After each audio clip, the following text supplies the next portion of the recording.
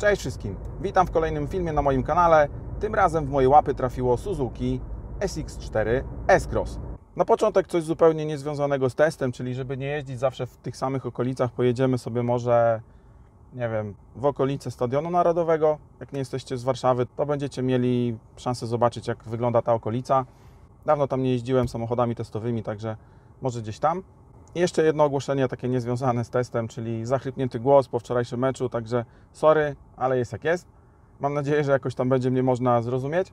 A przechodząc już stricte do samochodu, który testowałem przez ostatni tydzień, mam po tym czasie, myślę, sporo ciekawych informacji do przekazania na jego temat, także jeśli jesteście zainteresowani, standardowo serdecznie zapraszam.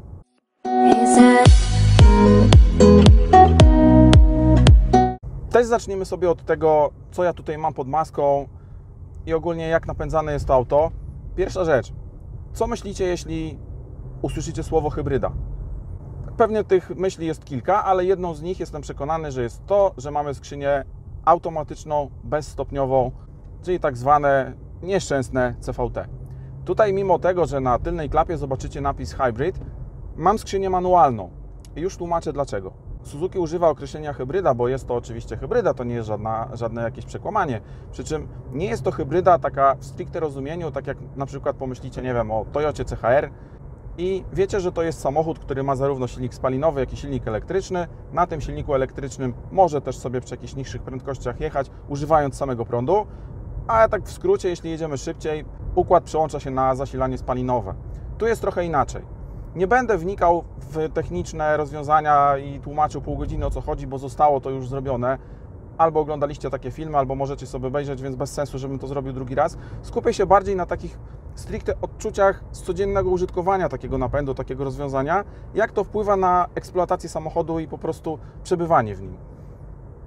Słowo oczywiście muszę powiedzieć, jak to mniej więcej działa, tak w ogromnym skrócie. Jest to jednostka, która stale jeździ na silniku spalinowym. Mamy tutaj 1.4 Booster Jet o mocy 129 koni tym razem. Bardzo dobry silnik, od razu powiem, który cieszy się dobrą opinią. Na pewno tutaj nie słyszałem jakichś narzekań na jego trwałość, na, na jego obsługę. Także sprawdzona jednostka, trochę obniżona moc, bo nie ma 140 koni, tylko 129. Przy czym, żeby też być w pełni precyzyjnym, nie jest to hybryda, tylko jest to tak zwana miękka hybryda. Tak też określa to Suzuki. Oznacza to nie mniej i nie więcej niż tyle, że silnik spalinowy wspomagany jest czy akumulatorem, czy, czy, czy silnikiem elektrycznym, który pomaga mu przede wszystkim przy rozruchu auta, przy działaniu urządzeń pobierających prąd, czyli odciąża jednostkę spalinową, jeśli powiedzmy chodzi o klimatyzację, audio i tak dalej, wszystko co, że tak powiem, wymaga prądu, wymaga e, zasilenia. Po to jest między innymi ten silnik elektryczny. Wspomaga też ten silnik spalinowy od samego dołu, czyli w zasadzie od obrotów jałowych, ułatwiając ruszanie.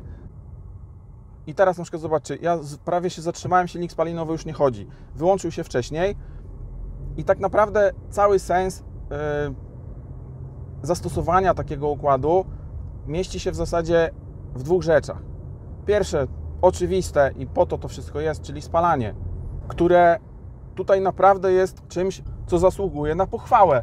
Nie spodziewajcie się, broń Boże, że będziecie jeździli na spalaniu 3,5 albo 4 litry, bo oczywiście to jest nie do zrobienia w tym momencie, ale jeśli ja jeżdżę tym samochodem od tygodnia praktycznie non-stop po Warszawie i moje średnie spalanie na przykład w tej chwili jest wskazanie komputera pokładowego 6.7. Ja to uważam za bardzo dobry wynik, tym bardziej, że ja tych samochodów nie oszczędzam. Nie jeżdżę nimi tak, żeby wlec się od świateł do świateł. Oczywiście nie szaleję, bo jeżdżę w mieście, ale chcę zobaczyć, co te, co te samochody potrafią. Zeruję, jak odbieram samochód, no i mam spalanie 6.7. Non-stop miasto, bardzo często w korku, także spalanie jest bardzo dobre. Wahało mi się ono oczywiście, jak sobie sprawdzałem mniej więcej, e, ile ten samochód pali, no to max miałem 7,4, także bardzo dobry wynik. Czyli widzimy już pierwszą, jakby praktyczną zaletę i sens stosowania takiej hybrydy, która, tak jak mówię, nie jest w stanie sama jeździć na, na jednostce elektrycznej, ale ja w jednostkach takich standardowych, hybrydowych nienawidzę skrzyń bezstopniowych. Wyjo, nie jadą, dla mnie to jest tragedia.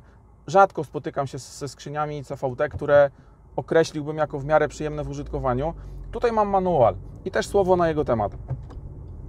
Ogólnie też dodam, jestem naprawdę ogromnym falem skrzyń automatycznych, nie manualnych. Przy czym ta skrzynia ma dwie zalety dla mnie. jest bardzo precyzyjna, co jest jakby ogromnie istotne przy użytkowaniu skrzyni manualnej. Jest dobrze zestopniowana, ale tą drugą taką zaletą, którą chciałbym podkreślić, jest to, że zmieniając biegi, dwójka, trójka, czwórka, nie czujemy takiego szarpnięcia, nie czujemy tego, przede wszystkim pasażer to tego nie czuje. E, ja nie wiem, czy ja jestem odzwyczajony od skrzyni automatycznych, bo rzadko bardzo nim jeżdżę, praktycznie cały czas mam automaty, ale ja sam czasami po sobie czuję, że jak wsiadam w manual, to jest ten moment, wiadomo, tego się nie da uniknąć całkiem, ale miałem dwójkę, przerzucam sobie na trójkę, ja w ogóle nie czuję sam po sobie tego momentu takiego, wiadomo, ruszania, co też oczywiście źle wpływa na przykład na osoby z chorobą lokomocyjną. Tutaj jest to tak fajnie zrobione, że kompletnie tego nie ma i bardzo podoba mi się to w Suzuki S-Crossie. Może powinienem powiedzieć od razu, że ma trzy zalety, dlatego że tą trzecią zaletą będzie to, że po prostu jesteśmy w stanie spalić mniej. Jesteśmy w stanie regulować sobie obroty i to spalanie na pewno też wiąże się z tym, że mamy tutaj skrzynię manualną. Wiem, że dużo ludzi nadal, mimo powszechności skrzyń automatycznych, coraz bardziej przystępnych cenowo, lubi skrzynie manualne i standardowo wybierając hybrydę jest jednak ograniczona przeważnie do skrzyni automatycznej, tej CVT nieszczęsnej. Tutaj mamy manual. Oczywiście nie mamy pełnej hybrydy, takiej w sensie takiego powszechnego rozumienia. Jest to miękka hybryda. Oprócz spalania, tą drugą rzeczą jest też przyjemność jazdy. To, że ten silnik spalinowy jest wspomagany przez silnik elektryczny, powoduje to, że jazda tym samochodem, szczególnie w mieście, jest naprawdę bardzo przyjemna pod kątem dynamiki, wyprzedzania, wciskania się gdzieś w dziury. Tutaj nie ma żadnego problemu z tym, mimo że mamy jednostkę stosunkowo o niewielkiej pojemności, bo jest to tylko 1.4. Moc też ogromna nie jest, bo to jest 129 koni, ale jest to tak wszystko zrobione, że jeśli chodzi o dynamikę, jestem przekonany, że nikt nie będzie tutaj na nią narzekał. Także to jest ta druga ogromna zaleta miękkiej hybrydy Suzuki. Ok, to pochwaliłem sobie sporo na dzień dobry, przy czym nie jest to oczywiście auto pozbawione wad, bo tak jak każde inne, S-Cross też te wady posiada i nie będę mówił, może mówił o wyglądzie, no bo mamy wszyscy różne gusta. Ja spytam się, co myślicie patrząc tak na pierwszy rzut oka na Suzuki SX4 S-Cross? Zakładam, że bardzo duża grupa osób powie, nic sobie nie myślę, no bo co mam sobie myśleć? To nie jest samochód, który rzuca się w oczy kompletnie pod żadnym względem. Myślę, tutaj nie ma jakichś stylistycznych fajerwerków. Mnie się te, ja, ja nie powiem, żeby ten samochód mi się jakoś mega podobał, ale to chyba nie o to chodzi. Ja jeszcze do tego wrócę, podsumowując, ale myślę, że to nie jest samochód do podobania się. To jest raz. Nie wymieniam tego jako wadę, bo tak jak mówię, mamy tutaj różne gusta na pewno wszyscy, ale na pewno jako wadę powiem to, nie bardzo mam to tutaj teraz jak pokazać, bo, bo stoimy, ale to samo, co miałem w Suzuki Vitara. Jak nie widzieliście testu, to sobie zobaczcie. Vitara miała dokładnie to samo. Jadę 60, 70, 80, nie ma to znaczenia. Nie jestem w stanie prowadzić samochodu i ustawić sobie kierownicy w jednym położeniu i po prostu tak jechać. Cały czas koryguję tor jazdy i wiem, że to nie dotyczy, nie dotyczy tego egzemplarza, czy tam Witary, którą testowałem. Suzuki tak po prostu ma, to jest kolejny model z taką przypadłością. Jest to dziwne, nie jest to nic fajnego ani przyjemnego. Ja uważam wręcz, że to jest wada i na pewno minus, bo, bo zupełnie nie rozumiem skąd się to bierze i po co to jest zrobione. To nie może być przypadek, skoro jest to kolejny model z czymś takim. I, i ja uważam, że jest to zdecydowanie, zdecydowanie do poprawy. Też, żeby być w 100% szczerym, jak jeździłem Witarą, którą czasami nawet nadal mam okazję się przejechać, jechałem gdzieś w trasie, jak się do niej przyzwyczaiłem, ja przestałem zwracać na to uwagę, abym cały czas jakby to czuł. To jest po prostu kwestia przyzwyczajenia, ale to nie jest coś fajnego, do, do czego możemy się przyzwyczaić, bo jest na przykład inne, bo jest zrobione inaczej niż jesteśmy do tej pory przyzwyczajeni. To jest coś złego, do czego się po prostu musimy przyzwyczaić. Także do poprawy. Kolejną taką rzeczą, która mi się kompletnie nie podoba, zobaczcie, chcecie sobie zmienić ustawienia komputera pokładowego, którego informacje wyświetlane są tutaj na wyświetlaczu centralnym między zegarami. Po pierwsze, dlaczego to jest po angielsku? Tu jest wszystko po polsku, tu jest average fuel economy. No nie może napisać średnie spalanie. Nie wiem dlaczego, nie rozumiem. Polski, angielski, ale większą wadą, zobaczcie, żeby zmienić, mm, sprawdzić jakieś inne ustawienia. Szukałem, szukałem, szukałem, gdzie to się zmienia no okazało się, że w miejscu, którego ja bym się nie spodziewał, bo ja co prawda uwielbiam lata 90., ale może nie w takim wydaniu, abym w samochodzie w 2020 roku, zmieniając ustawienia komputera, musiał klikać czymś takim. Zobaczcie. Tragedia. To jest niezrozumiałe i nie jestem w stanie tego obronić, chociażbym miał najlepsze intencje, chociażbym chciał, a nie chcę. To jest nie do obrony. I kompletnie tego nie kumam, także Suzuki jak najszybciej do zmiany. Ok, jesteśmy pod Narodowym, tak jak mówiłem, udało się przejechać, parking otwarty, także jak nie znacie, to ja gdzieś tu pojeżdżę, żebyście mieli okazję sobie trochę popatrzeć. A wracając do auta i troszeczkę jakby zahaczając temat Suzuki i jakby tak bardziej globalnie niż skupiając się na samej S-Crossie. Wiecie za co ja cenię Suzuki? To jest samochód, czy to jest marka, która po prostu nie udaje. I ja to lubię, dlatego że ja nie słyszę tutaj takiego przekazu, o zobaczcie, mamy nowy model, już jesteśmy praktycznie premium, to już jest to, jesteśmy wyżej niż tam ktoś i tak dalej. To są samochody, czy to jest producent, który pokazuje, ok, masz 90 tysięcy, nie chcesz kupić używanego Mercedesa, jeździć 8-letnim samochodem, skupiasz się tylko na nowych autach z salonu. Potrzebujesz samochodu, w którym będziesz w większości jeździł w mieście, w którym Ci będzie wygodnie, będziesz miał dobrą gwarancję, będziesz miał wszystkie rzeczy, które są niezbędne dzisiaj w nowym samochodzie. To nie będzie wykonane super, bo to nie jest wykonane super. Tu jest pełno plastiku, to wszystko czuć. Nieważne, czy przejeżdżasz przez dziury, czy, czy ogólnie będziesz słyszał, że to naprawdę nie są materiały najwyższej jakości. Przejadę teraz przez próg, nie będę nic mówił. No posłuchajcie, jadę naprawdę wolno, jest dosyć spory próg. Bum. Nie wiem, czy to było słychać, ale to słychać. Tylko Suzuki nie będzie Wam mówiło, nie, tego w ogóle nie słychać i, i za dwa lata to w ogóle będziemy czwartą marką w premium. Nie. Tak jak powiedziałem, potrzebujesz nowy samochód, chcesz tego wszystkiego, o czym przed chwilą powiedziałem, to mamy dla Ciebie SX4 S-Crossa. Bez kredytu na 45 lat we franku szwajcarskim dostaniesz u nas samochód, który będzie wygodny, będzie przyzwoicie wyposażony, będzie bardzo ekonomiczny, będzie miał nowoczesne rozwiązania, patrz, miękka hybryda, nie zawiedzie Cię na drodze pod względem dynamiki, bo jest to auto bardzo dynamiczne. Też co ciekawe, zwróćcie uwagę, wiecie ile waży ten samochód? Niecałe 1200 kg. Jak na rozmiary normalne tego auta, na jego wyposażenie, na to wszystko, co ten samochód oferuje, to jest rewelacyjna waga. Na początku pomyślałem, jak zobaczyłem ten parametr, no zakładam, że osiągnęli go wyciszeniem, bo pewnie tutaj w drzwiach nie ma niczego i będzie mega głośno. Nie, wcale nie jest głośno na trasie. Jest przyzwoicie. To nie jest na pewno mistrz wyciszenia, ale wyciszenie jest w porządku. Mi przy jeździe autostradowymi prędkościami nie przeszkadzało tutaj to, że nie słyszę, co myślę. Także nie stąd wzięła się waga, nie wiem, jak to zrobili, ale zrobili to. I oczywiście to jest kolejny parametr, który wpłynie na spalanie i na dynamikę. Wpłynie oczywiście pozytywnie. Także kolejny plus dla konstruktorów. I naprawdę ja uważam, że jest to bardzo uczciwe podejście ze strony producenta, ze strony marketingowców może, że te auta po prostu niczego nie udają. To są samochody, które chcą trafić do klienta, który nie potrzebuje żadnych ekstrawagancji, nie chce płacić 150 tysięcy za samochód klasy B czy klasy C, czy po prostu niewielkiego crossovera. Stać go po prostu na to auto, stać go na to, co ten samochód zaoferuje. I oczywiście ten system audio, na przykład, on jest średni, bardzo średni.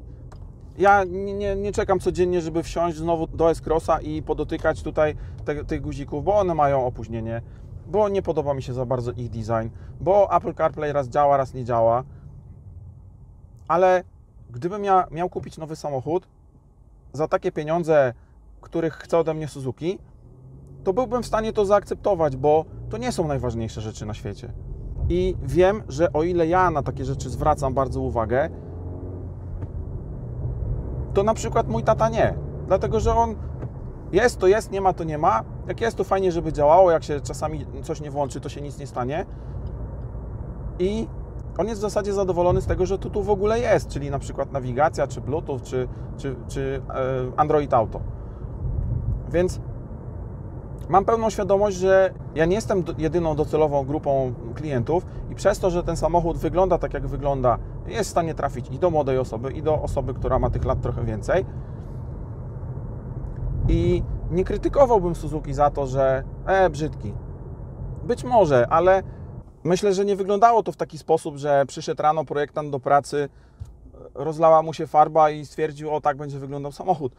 To ma jakieś założenie. Uważam, że tym założeniem jest to, że chcemy trafić do jak najszerszej grupy klientów, do tego klientów nie tylko z jednego kontynentu. No brawo, brawo, brawo, naprawdę brawo. Super, no nie ma sprawy. Także wygląd oczywiście to jest też coś, co kupujemy, za co płacimy, ale w Suzuki nie chodzi do końca o wygląd. Tak przynajmniej ja uważam. Przypomniała mi się teraz jeszcze jedna rzecz, która w tym aucie mi się nie podoba, a jest to sprzęgło, a w zasadzie sposób, w jaki ono działa, ponieważ niestety musimy je wcisnąć bardzo głęboko. W zasadzie ten ruch stopą jest mm, w bardzo dużym zakresie, jest, po prostu łapie bardzo głęboko. Ja na początku, jak wsiadłem w ten samochód, to myślałem, że coś jest nie tak. Musiałem się do tego przyzwyczaić. Oczywiście się przyzwyczaiłem. Jest to po prostu kolejna rzecz, która nie jest dobra, ale idzie się do tego przyzwyczaić. Chociaż wolałbym, żebym nie musiał. Słowo może jeszcze odnośnie przestrzeni w tym samochodzie. Bardzo duży bagażnik, 430 litrów. To, to jest porządna wartość, więc będziecie w stanie się spokojnie spakować na jakiś dłuższy wyjazd. Miejsce z tyłu, ciężko mi to ocenić, bo tam nie jeździłem. Osoby, które tam siedziały, nie narzekały, także myślę, że jest całkiem ok. Będę wyjeżdżał teraz na troszkę szybszą trasę tutaj z, tej z tego wolniejszego fragmentu, więc też zobaczcie. Co też lubię w tym samochodzie, on już żyje. On ma 2000. Ja w tej chwili jestem w stanie przyspieszać normalnie. To tak jak oczywiście powiedziałem, to nie jest auto po to, żeby szaleć, ale nie mam kompletnie problemu żadnego z włączeniem się do ruchu. Zobaczcie, trójka, czwórka, no więcej tutaj nie mogę, ale no problem. I to jest to. 1.4 Booster Jet, 129 koni, żadna ogromna moc, żadnego problemu, jeśli chodzi o przyspieszanie, czy po prostu o dynamikę. Tutaj naprawdę nie ma. I to jest bardzo duża zaleta tego rozwiązania, czyli połączenia 1.4 Booster Jetta, silnika o bardzo dobrej renomie z układem miękkiej hybrydy. Podoba mi się to i uważam, że jest to bardzo fajnie pomyślane i bardzo dobrze wykonane. No dobra, żeby nie przedłużać, podsumujmy może wrażenia z jazdy Suzuki SX4 przez ostatni tydzień. To jest samochód, który jest uczciwy. To jest samochód, który, którego producent mówi Wam wprost, co dostaniecie za normalne pieniądze. Taka kwota, myślę, że jest ok.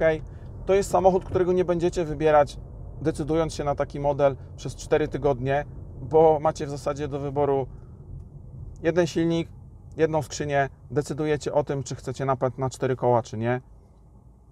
I wersja wyposażenia. I to jest tyle. Tych wersji też nie ma 40 za każdą rzecz trzeba spędzić tydzień nad tym, bo może czegoś nie, nie dołożyłem.